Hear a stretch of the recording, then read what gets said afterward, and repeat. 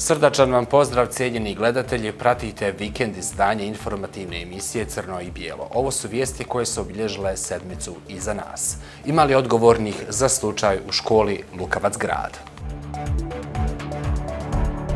Poljoprivrednici iz Tuzlanskog kantona i dalje čekaju isplatu poticaja.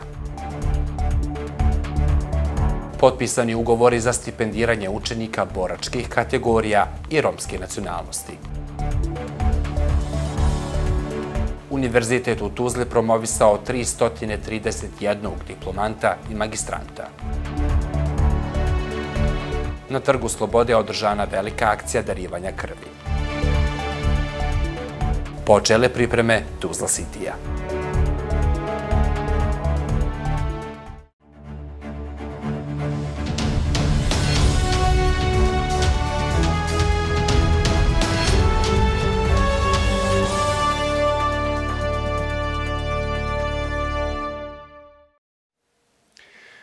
Tuzlanski kanton nakon slučaja pucnjave u školi Lukavac grad uhvatit će se u koštac sa širim društvenim problemom i pokušati dati odgovor šta je potrebno uraditi, mijenjati, da bi se spriječila maloljetnička delikvencija. Slučaj pucnjave u Lukavačkoj školi još je predmet istrage. Sve odgovorne institucije, ustanove u Tuzlanskom kantonu i dalje prikupljaju potrebne informacije. Neke od njih prezentirane su vladi, ali i javnosti uprava policije vrši intenzivan nadzor nad postupanjem policijske uprave u Lukavcu. Zakon o oružanju municiji je propisao, dakle, nadležno isključivo policijski uprava za izdavanje, kontrolsanje, a, a upravo policije kao kanton organ, samo kao organ nadzora nad postupanjem policijske uprave. Ukoliko se utvrdi, a imamo određenih indicija da je bilo propusta u radu, svi odgovorni u lancu će biti sankcionisani adekvatno onome što su učinili i eventualno nisu učinili što ime su doprinu do ovoga čega se desilo. Kontrolišu se i škole. Jedna od preporuka Resornog ministarstva nakon Beogradskog slučaja je bila održavanje roditeljskih sastanaka. Kada je u pitanju škola u Lukavcu, ono što mi imamo podataka jeste da su oni postupili, da su oni razgovarali, da je bilo e, roditeljskih sastanaka. E, škole su u značajnu mjeru organizirale e, roditeljski sastanke, organizirale su drugu, drugu vrstu aktivnosti. Sve te aktivnosti imamo u e, izvještaju. Naravno, postoji mogućnost da određene škole nisu postupile u skladu sa našim preporukama, ali ovo dok napravimo potpuno analizu vidjet ćemo e, da li ima negdje propusta pa ćemo djelovati sa upravnim nadzorom. Ko je zakazao, ko je odgovoran, da li se moglo spriječiti, pitanja su na koje za sada niko nema odgovor, a on se u većoj mjeri očekuje od kantonalnog tužilaštva. Kada ustanovimo i, un, e, i našim određenim e, dakle, istragama koje mi treba da provedu, provedemo u okviru e, i ministarstava i drugih informacija, da je određena osoba odgovorna za neko činjenje, ne, ne činjenje, naravno da ćemo tražiti odgovornost, ali mi to ne možemo raditi za šest dana. Tužilaštvo treba da pozove na odgovornost svakog, svakoga koji je odgovoran, pa između ostaloga koji je premijer odgovoran i on će odgovoran. Iako je ovo širi društveni problem, nakon slučaja u Lukavcu, Tuzlanski kanton će u narednih 45 dana pokušati otkriti nedostatke u svim oblastima koje ugrožavaju sigurnost učenika i uposlenih u školama, ali i svih građana. Biće formirana radna grupa nadležnih ustanova i institucija, očekuje se i pomoć federalne vlade, iako je u ovom slučaju izostala, tvrdi prvi čovjek kantona. Nismo imali komunikacije nikakve, Niti nas je ko kontaktirao, niti vezan za poplave, niti vezan za ovaj problem. Jeste ministar, evo, nakon nekoliko dana bio pozvan na ovaj sastanak eh, u organizaciji Federalne ministrice obrazovanja. Čak, to će on evo potvrditi, prije je došao telefonski poziv od ministrice obrazovanja entiteta RS nego li poziv iz federacije. Predloženo je niz mjera za poboljšanje stanja. Jedno od njih je uvođenje moratorija na izdavanje dozvola za naoružanje na godinu dana, dokada bi trebala biti izvršena revizija 25.000 do sada izdatih dozvola. Za šest mjeseci policija će kontrolisati način držanja oružja. Predloženo je uvođenje uniformi u škole, unutrašnje obezbeđenje, zabrana upotreba mobitela za vrijeme nastave i učenicima i uposlenicima, kadrovsko osnaživanje centara za socijalni rad, kao i mijenjanje federalnih i kantonalnih zakona. Ovo se tiče, e, naravno, prije svega institucija koje trebaju da radi svoj posao, ali se tiče e, i građana i roditelja koji moraju da se uključe u ove procese i, e, ponovo kažem, svakog nivoa vlasti koji, je, koji treba jeli, da ukoliko smatramo da je to potrebno, mislim da jeste da pristup izmjenama određene legislative i tako dalje. Predložene mjere vlade bit će razmatrane sutra na hitnoj sjednici Skupštine Tuzlanskog kantona. Na sjednici hitnog karaktera zastupnici Skupštine Tuzlanskog kantona razmatrali su aktuelnu sigurnosnu situaciju u školama i mjerama za njeno poboljšanje, kao i o štetama uzrokovanim poplavama i klizištima. Na dnevnom redu bio je i rebalans budžeta Tuzlanskog kantona. Kantonalni zastupnici prihvatili su predložene mjere vlade, odnosno resornih ministarstava za stvaranje bolje sigurnosti u školama. I pozicije i opozicije saglasni su da je nakon incidenta u osnovnoj školi Lukavac grad hitno potrebno poduzeti određene mjere kako bi ovakvi i slični slučajevi u školama bili isključeni. Predloženo je da interesorna grupa koja bude formirana od predstavnika svih nadležnih ustanova i institucija uoči nedostatke u oblastima koje se tiču sigurnosti u školama. Ovo je jedan pokušaj, ovo je dugoročni proces, ovo neće biti tako brzo za 45 dana, to je definitivno. Pogledajte samo recimo jedna mjera koja nalaže uvođenje video nadzora u školama, vi ne možete, ja mislim da za jednu godinu ne možete uvesti sve u sve škole na području Tuzlanskog kantona video nadzor, jer će to zahtijevati donošenje određenih pravilnika, ko će imati pristup video nadzoru, ipak su maloljetnici u pitanju. Dugoročan je proces, treba rati na, svi, na svim građanima u Bosni i Hercegovini i treba ovo nasilje ukloniti kako iz porodice, tako i iz škole. U svakom slučaju, dakle, svaka mjera koja je predložena e, e, na kraju će dakle dati neki rezultat. Ovdje je pitanje vremenskih okvira, vremenskih rokova koje treba biti ispoštovane kako bi se dakle mjere e, sprovele na terenu.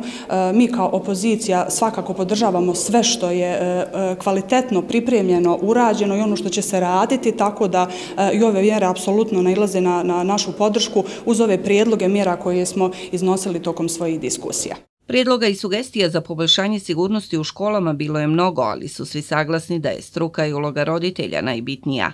Podsjećamo, neke od mjera vlade su kontrola izdatih dozvola za oružje i način držanja oružja, kadrovsko osnaživanje centara za socijalni rad kao i uvođenje uniformi u škole, unutrašnje obezbjeđenje, zabrana upotrebe mobitela za vrijeme nastave i učenicima i uposlenicima.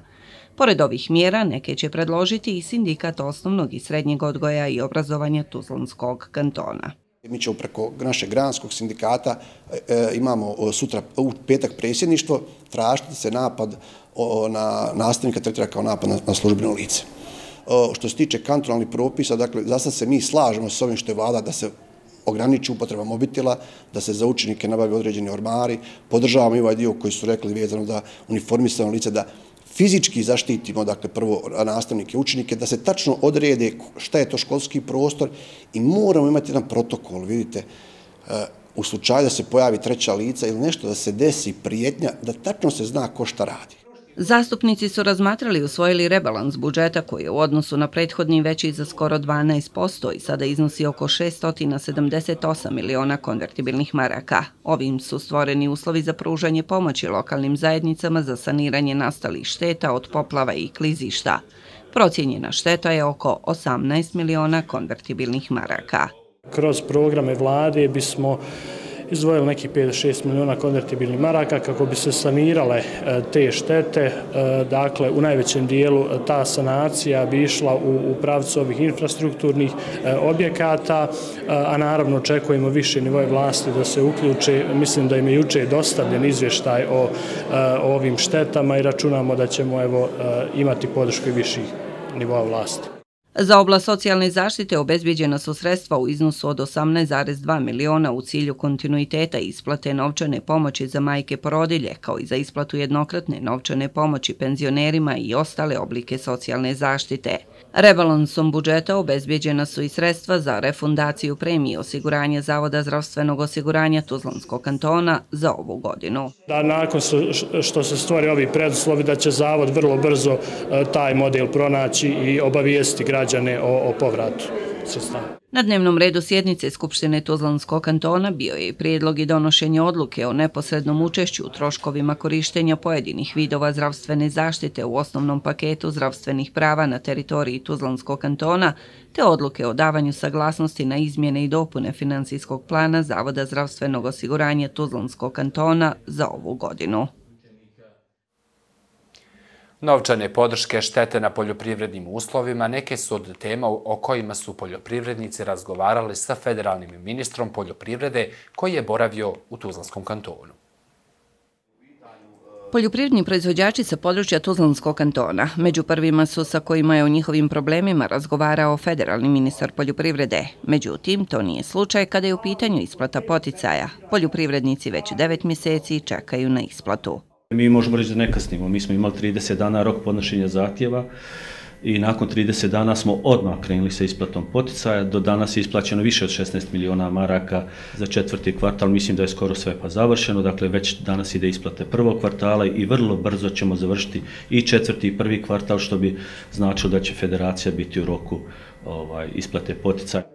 Na našem kantonu još uvijek nije e, završen četvrti kvartal prošle godine, a evo za deset dana mi izlazimo iz drugog kvartala. Dakle, ja sam kontaktirao e, preko Viber grupe svoje proizvođače, farmere koji e, mogu s pravom reći istinu govore i nisu sigurno dobili uh, svi sredstva. Ja znam da je uh, bilo uplata fizička lica, 900 zahtjeva je prošle sedmice pušteno, međutim uh, ovi obrti koji povuku više sredstava sa federalnog nivoa još uvijek nisu svi isplaćeni.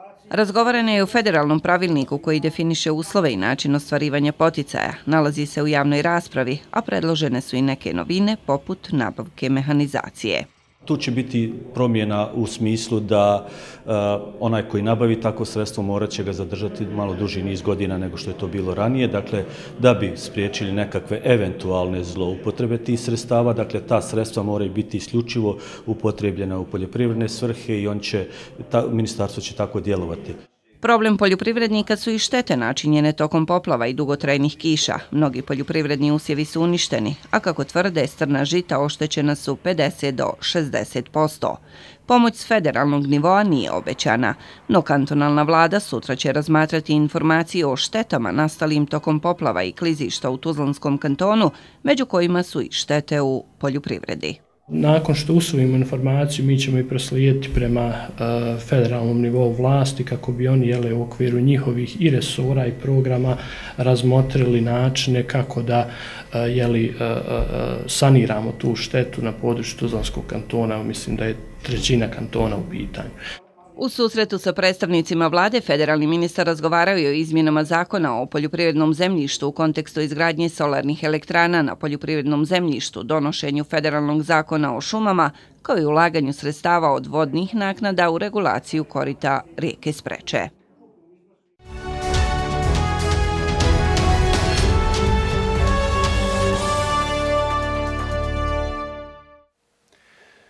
Žrtve torture u našoj zemlji nakon 28 godina od završetka rata suočavaju se sa brojnim problemima. Ova populacija nije prepoznata kroz zakonske okvire na nivou Federacije Bosne i Hercegovine i države. Psihološka podrška ipak ne nedostaje, tvrde u nevladinom sektoru.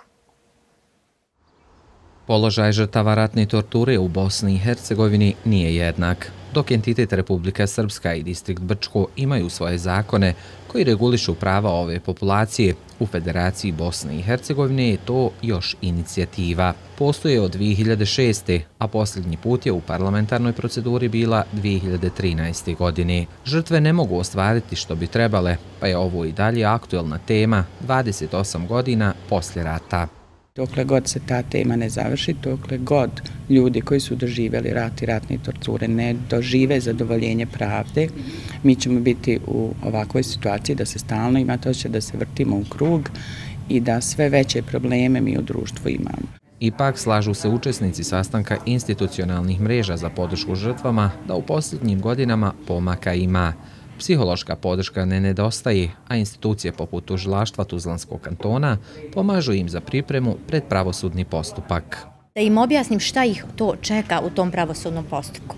To jeste e, kako, kako će teći to saslušanje, kako će ići taj, to, taj tok suđenja. Mi ne možemo uticati, niti smijemo uticati na, na takve e, svjedoke, ali ovaj, kroz razgovor i kroz ono što ja mogu da kažem e, kao stručno lice, koliko mogu pružiti u tim trenucima njima, nekad odustanu, a nekad naravno i nastavi sa tim postupkom.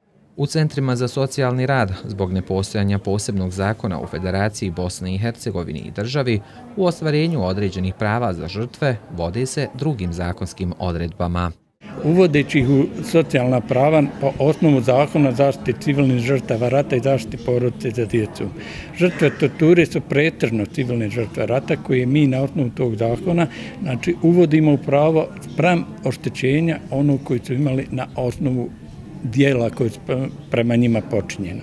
Nevladin sektor i niži nivoj vlasti ponovo traže usvajanje zakona na državnom nivou. Na takav način tvrde pomoglo bi se žrtvama.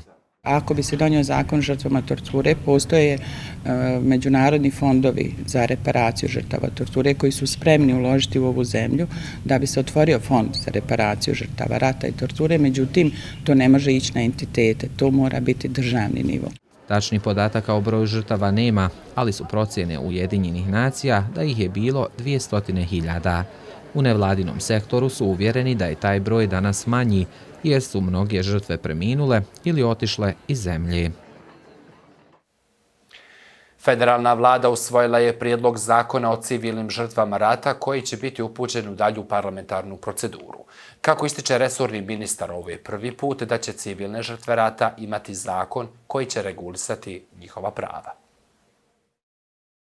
Ono što je jedinstveno za ovaj zakon, po čemu ćemo biti možda e, prvi u svijetu, jeste to da, da je u ovom zakonu po prvi put, e, po prvi put su prepozna, e, prepoznate posebne kategorije, mislim prije svega na žene žrtve zločina silovanja u ratnim dejstvima i mislim na djecu koja su rođena iz zločina silovanja i postoji određene druge pogodnosti kada su civilne žrtve rata u pitanju. One se odnosi na porodice koje su izgubile najmilije, na djecu ukinute, ukinute su određene razlike, ukinut je cenzus kada su te naknade u pitanju.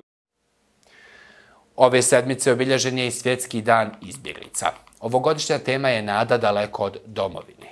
Na ovaj dan želi se ukazati na podložaj ovih osoba kako u našoj zemlji, tako i u svijetu, ali da se potakne na razumijevanje, empatiju i podršku osobama koje su prisiljene napustiti svoje domove. U Bosni i Hercegovini tokom rata 2,2 miliona ljudi bilo je prisiljeno napustiti svoj dom, a trenutno je u našoj državi 157 osoba kojima je dodjeljen izbjeglički status.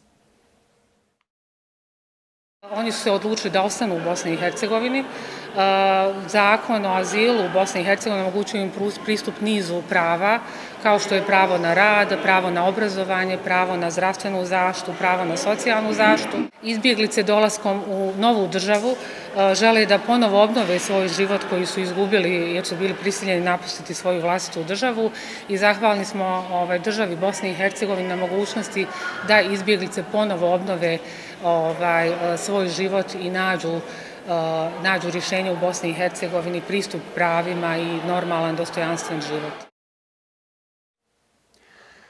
Više od 700 studenta iz boračke populacije u Tuzlanskom kantonu ostvarilo je pravo na stipendiju. To će im olakšati školovanje, ali i postaći za dalje usavršavanje. Resorno ministarstvo za ove namjene osiguralo je skoro 2 miliona konvertibilnih maraka, a prvu ratu studenti će dobiti u julu. Amila je jedna od 718 studentica i studenta koji će dobiti stipendiju sa kantonalnog nivoa, zašto je potpisala ugovor sa resornim ministarstvom. Od stipendije će, kako kaže, plaćati prevoz.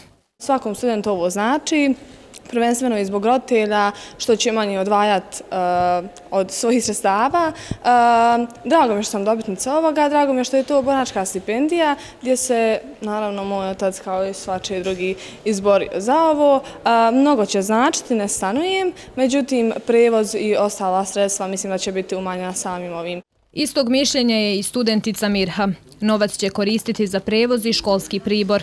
Stipendija će joj biti dodatna motivacija za usavršavanje. Ova stipendija će nam naravno pomoći u daljem školovanju, daje nam također i motivaciju i za dalje učenje. Ovo dodatno naravno olakšava i našim roditeljima jer izdvajaju manje sredstava za naše školovanje. Ministarstvo za boračka pitanja Tuzlanskog kantona već 17 godina primjenjuje ovu praksu. Studentima koji su ostvarili pravo na stipendiju za akademsku 2022-2023 na račun će biti uplaćeno 1350 konvertibilnih maraka za 9 mjeseci. Ja mogu reći da sam jako zadovoljna brojem dakle, onaj, e, studenta i učenika koji su stvarili pravo na ovu stipendiju, e, da je ove godine dokumentacija bila izuzetno dakle, dobra, potpuna. Najveći broj e, lica koji nisu stvarili pravo e, vezano za ovu stipendiju jesu po imovinskom cenzusu. Za ove namjene kantonalna vlada izdvojila je skoro milijun i osamstotina hiljada konvertibilnih maraka. Kako navodi premijer, ovo su djeca heroja i potreban im je ovakav vid podrške djeca jedne generacije koja je odbranila e, Bosnu i Hercegovinu, našu domovinu i da mi na ovaj način, dakle upravo toj e, grupaciji, e, želimo da pošaljemo poruku da smo uz njihovu djecu, da ih želimo podržati u njihovom školovanju. Prvu ratu stipendije od 150 konvertibilnih maraka studenti će dobiti u julu zbog provjere ispravnosti računa, dok će u augustu dobiti novac za preostalih 8 mjeseci. Već dvije godine Ministarstvo obrazovanja i nauke stipendira učenike romske nacionalnosti i ostalih nacionalnih manjina. Ove godine pravo na stipendiju ostvarilo je 35 srednjoškolaca, a prvu ratu dobit će već u septembru. Armin je srednjoškolac sa prosjekom 5.0 i jedan je od učenika romske nacionalnosti koji su ostvarili pravo na stipendiju sa kantonalnog nivoa. To će mu, kaže, dodatno olakšati dalje školovanje. Pa, znači će mi mnogo iskreno pa u školovanju, na primjer u dijevanju i tako tim stvarima. A osim Armina, još 34 učenika potpisala su ugovore za stipendiranje. Među njima su i Erna i Aldina. S obzirom na to da svakodnevno putuju do škole, od stipendije će, kako kažu, plaćati prevoz, ali i sve ostalo što im je potrebno. Jako mi je e, potrebna stipendija za, e, za prihode i stvari koje mi trebaju u srednjoj školi, za praksu i za knjige, učbenike. E, tako da će mi jako potrebno je za školu jer bez tih stvari ne, treba, ne može se pohađati škola. Pa znači da troškove prijevoza, učbenike, Ministarstvo obrazovanja i nauke Tuzlanskog kantona drugu godinu zaredom stipendira učenike romske nacionalnosti i ostalih nacionalnih manjina. Učenicima će na račun biti isplaćeno po hiljadu konvertibilnih maraka u četiri jednake rate. Ove stipendije su posebno važne e, jer se odnose na romsku i druge nacionalne manjine, a znamo da u svim društvenim promjenama e, da najteže budu pogođene nacionalne manjine. U tom kontekstu ovo je jedna podrška ovim učenicima da mogu nastaviti redovno obrazovanje i da mogu doprinijeti svojim talentom i svojim radom bosansko-hercegovačkom društvu. Da je ovo primjer pozitivne prakse pokazuju i podaci kantonalnog resornog ministarstva. Trenutno srednje škole u Tuzlanskom kantonu pohađa više od stotinu romske djece. Kako navode, Romima obrazovanje treba biti prioritet, jer je to korak bliže ka pronalasku posla. Bez obrazovanja ne možemo se zaposliti, ne možemo stvar pravo na zdravstveno osiguranje, tako da mi to već radimo na polju edukacije sa roditeljima Roma o znači važnosti obrazovanja. Znači da integracija je počela u svom domenu da radi, to nam je najvažniji faktor. Srednjoškolci će prvu ratu stipendije dobiti u septembru.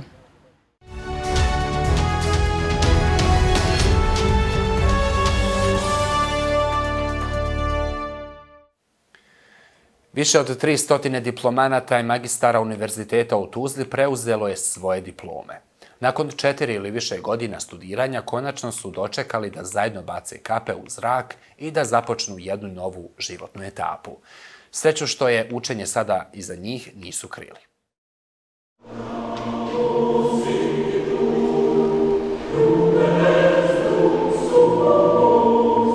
Nakon pet godina studiranja, Ajla je konačno dočekala da položi zakletvu za zvanje magistre farmacije. Svečano obećavam da ću svoj život staviti u službu humanosti.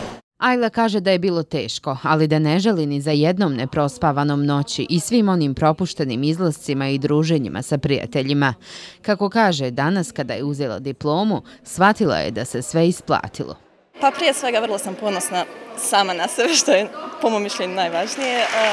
trebalo je puno truda, puno znoja, puno suza i svega je prošlo, ali sve u svemu vrlo lijepo iskustvo i drago mi je da sam završila na, na Osim Ajle, danas je svoje diplome dobilo još 300 diplomanata i magistranata univerziteta u Tuzli. Naši diplomati i magistri su iz svih naučnih oblasti sa svih 12 fakulteta univerziteta u Tuzli. Mi evo danas dijelimo sa njima ovaj svečani trenutak, e, nadamo se da su stekli znanje i vještine koji će im pomoći u njihovom daljem radu i želimo im svaku sreću i uspjeh. A da studenti Univerziteta u Tuzli zaista steknu dobro znanje i vještine pokazuje i Safet, sada magistar logopedije. Po završetku četvrogodišnjeg studija ubrzo je pronašao posao u Zavodu za zbrinjavanje mentalno invalidne djece i omladine Pazarić, nakon čega se odlučio za dodatnu edukaciju, te je upisao magistarski na Edukacijsko-rehabilitacijskom fakultetu bilo je, da kažem, ono, malo mukotrpno zato što sam uporedo i radio, i išao na magistarski, međutim, na kraju se to sve isplatilo, jedno kada, kada konač dobijem diplomu u ruke, znači da je to sve vrijedilo. Nije možda posao koji sam od uvijek želio da radim, pošto sam se tek na, na kraju srednje škole odlučio za logopediju i kroz studiranje sam nekako, da kažem, zazirao od rada u određenim zavodima, međutim, kad sam počeo da radim, vidio sam da je međutim e, posao u zavodima jako plemenit i e, pronašao sam se u tome. I mnoge druge Safetove kolege i kolegice se sigurno vide kao stručnjaci u onim oblastima za koji su četiri ili više godina učili, a neki možda i ne, jer planiraju napustiti Bosnu i Hercegovinu. Ipak, na licima svih ovih mladih ljudi vidjelo se da su izuzetno ponosni na sebe, jer su napravili još jedan važan životni korak. Upis na univerzitetu u Tuzli je u toku. Budući studenti se odlučuju koji će biti njihov životni poziv. Na javni univerzitet očekuju manje upisanih, dok na privatnim univerzitetima očekuju veći broj studenta. Međutim, u jednom su saglasni. Sve manje studenta u Bosni i Hercegovini.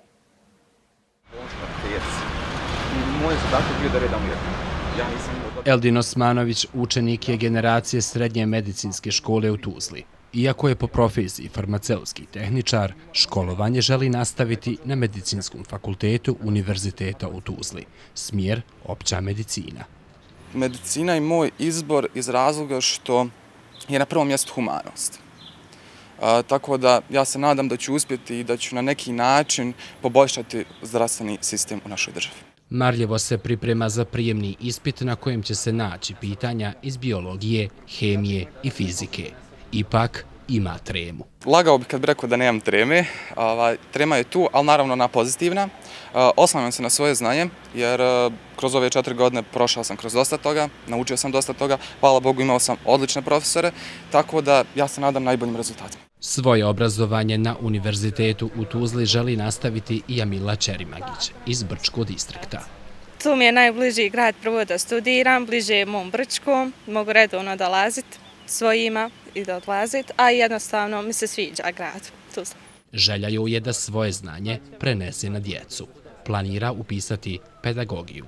Volim rad sa djecom i profesori iz osnovne škole su mi savjetovali da ja upišem tu jer mi nekako leži i stoji. Univerzitet u Tuzli izabrao je i njen kolega iz srednjoškolske klupe. Njegov izbor je ocijek psihologija nekako se čitav život pronalazim jednostavno u tim stvarima kao davanje savjeta rad sa ljudima i to mi je nekako najbliži pristup ovako ljudima, kao bukvalno ono, mislim, tijel sam socijalni radnik ili nešto, možda pedagogija, rad sa djecom, ali psihologija mi nekako najbolje paše, najviše se u tome pronalazim, tako da to me odavno baš zanima. Kako navode iz univerziteta u Tuzli, očekuju da se u prvu godinu studija upiše 2020 studenta, što je za 150 studenta manje u odnosu na prošlu godinu. Prema prethodnim godinama najveći interes je bio za medicinski, to tehnički fakultet. Ove godine e, je broj slobodnih mjesta nešto manji u odnosu na prethodnu godinu, ali evo, nadamo se e, da ostanemo na nivou prethodnih godina. Za razliku od javnih, privatne visokoškolske ustanove očekuju veći broj upisanih studenta. Ja očekujem veći broj, upis, veći broj upisanih studenta, možda ne iz Tuzle, ali iz okruženja, iz razloga što smo dobili sada akreditaciju. I sad je to već, e, imaju studenti veću sigurnost i mislim da ne bi više trebalo da bude problema oko upisa. Upis je u posljednje dvije godine padao, padao baš iz razloga s problema sa akreditacijom. Eto, akreditacija se desila prošle godine i mi smo evo, na sreću taj problem prevazišli i nadam se i očekivati da će biti upis koliko toliko bolji nego prošle godine. U konačnici i iz privatnih i javnih univerziteta se slažu u tome da se upisuje sve manje studenta. Upisni rok na univerzitetu u Tuzli završava se 30. juna, a prijemni ispit bit će održan 4. jula u 10 sati. Kada je riječ o upisnom roku na privatne univerzitete, termin upisa još nije poznat.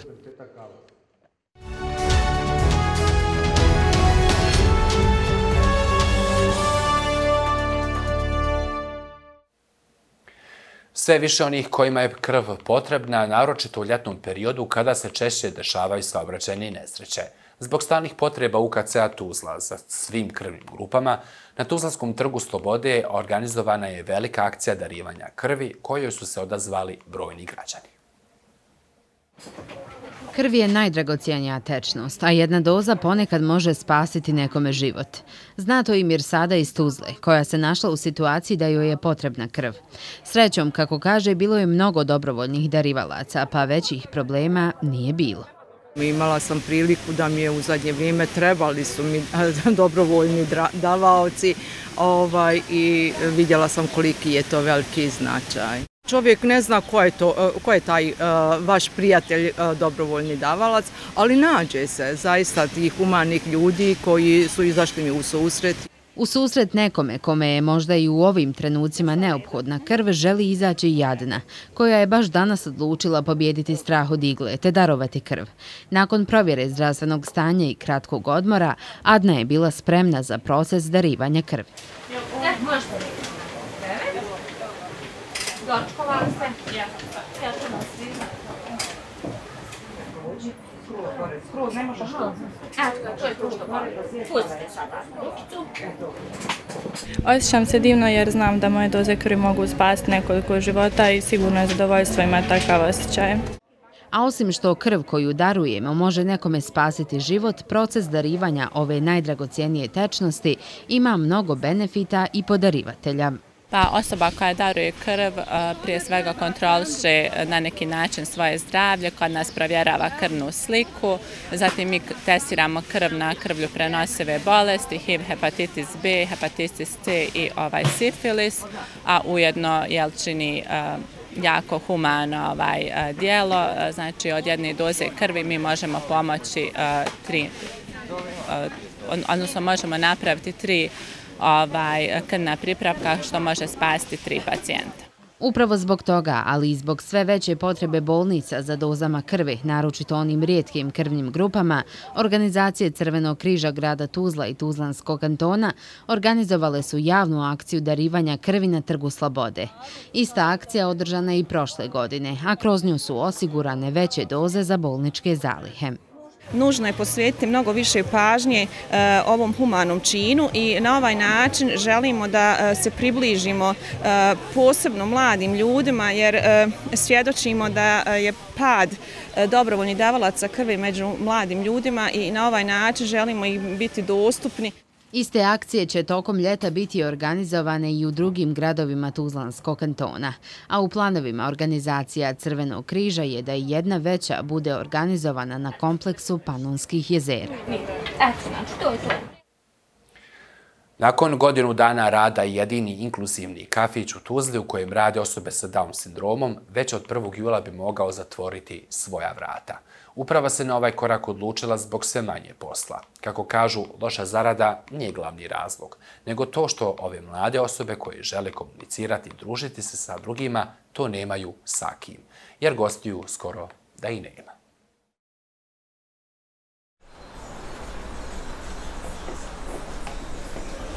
Ovdje su pretežno su Na, ovdje na sve. Hvala. Boris je 35-godišnjak sa Down sindromom. Osoba je koja ne priča, ali njegov osmijeh govori više od svake riječi. A glavni uzrok njegovoj sreći je posao i osjećaj da je društveno koristan. U klubu Zmajevo srce Boki, kako ga zovu, radi skoro godinu dana. On nije samo on, nego ova vrsta djece, oni voli da su angažovani, da neko razmišlja o njima i tako, mislim, I on jest, on je drugčiji kad, ima, kad je zauzet nečim. Osim Borisa, u klubu Zmajevo srce radi još pet osoba sa Down sindromom i drugim poteškoćama. Većini je ovo prvi posao. Svima njima najdraže od svega je što borave sa drugim ljudima, što se druže.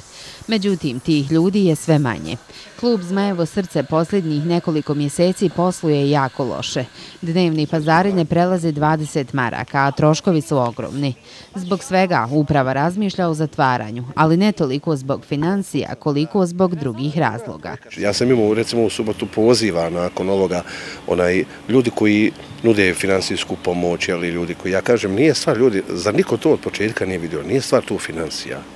Onaj, što će nam pare ako ti momci onaj, sjede sami u klubu, nema gostiju? Oni upravo žele da uživaju u posluženju gostiju, žele da uživaju u komunikaciji. Da je ovim mladim i izuzetno vrijednim osobama osjećaj društvene vrijednosti ispred materijalnog tvrdi i struka. Osobe sa Down sindromom su izrazito inteligentne, a posebno su druželjubivi. Rad ih čini još sretnim osobama. E, ovi mladi ljudi zaista jesu motivisani da rade, oni žele da rade, oni ne žele da budu e, korisnici nekakvih davanja, usluga, isto to ne žele i njihovi roditelji, što ja moram da kažem da je isto tako jako važno.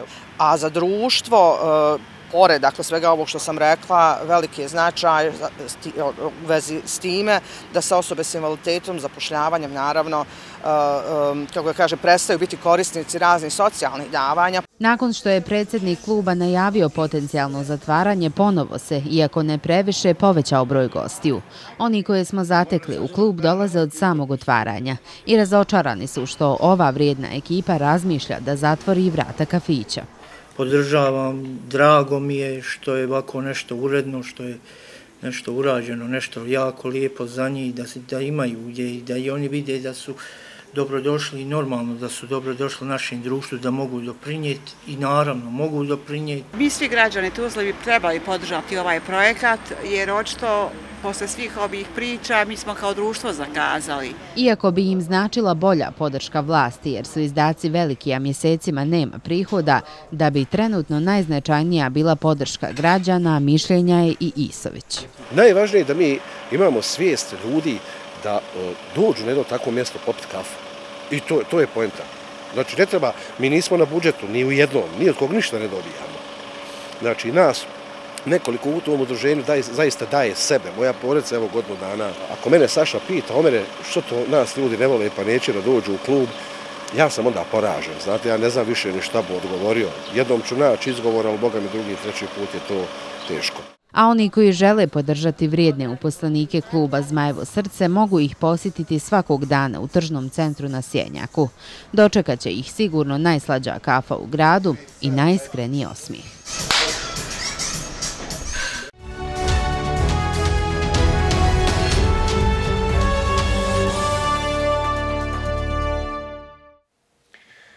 Futbaleri Tuzla City-a počeli su pripreme za novu sezonu u premijer Ligi Bosne i Hercegovine. Iz kluba je otišlo nekoliko igrača, a za sada je u klub stigao samo jedan novi futbaler.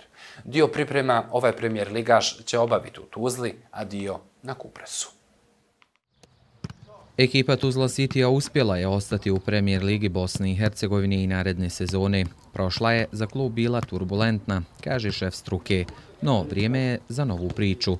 Obavljena je prozivka igrača, a treneru se odazvalo njih 25. Sada su izvanično počele pripreme za novu sezonu. Kako je potvrđeno, šest igrača kojima je istekao ugovor otišlo je iz kluba, a za sada je u tim stigao samo jedan. Što se tiče dolazaka i pojačanja, uveliko se radi na tome trenutno, osim Mehanović Mirzada gdje su pregovori završeni, ni nemamo nekih drugih imena, ali kažem, mnogo toga će se saznati već u ovoj sedmici. Mi igrači smo svjesni neke situacije koje smo bili prošle godine, koja je bila stvarno teška kako za nas, tako i za stručni štab. U toku, nekih, u toku neke ove pauze smo dobili neki program koji smo radili, ovo ono, mislim da smo došli onaj spremni. Tu igrači koji nisu s nama nisu, ovi koji su ostali, maksimalno su fokusirani. Prvi dio priprema ovaj premijer Ligaš Obaviće u Tuzli, trenirajući na matičnom stadionu i drugim terenima. Već prvi dan jula Plave očekuje prijateljska utakmica sa željezničarom, a u drugom dijelu priprema odigraće još tri kontrolne utakmice. Četvrtog sedmog odlazimo na Kupres, ostajemo do, 30. do 13. sedmog. Na Kupresu su dogovorene tri utakmice protiv Goška, Igmana i Širokog brijega. Poslije toga se vraćamo ovdje na završne pripreme u Tuzlu. 22. je generalka sa zvijezdom 09. Na kom terenu, to ćemo se još uvijek dogovoriti da vidimo od rasporeda. I ako Bogda 29. krećemo i ulazimo u novu sezonu. U novoj sezoni Tuzlanski tim želi bolje rezultate u premijer Ligi Bosne i Hercegovine, odnosno izlazak na evropska takmičenja. Pratili ste informativnu emisiju Crno i Bijelo. U nastavku informacije o planskim isključenjima električne energije na području Tuzlanskog kantona. Hvala na pažnji i ugodan ostatak vikenda.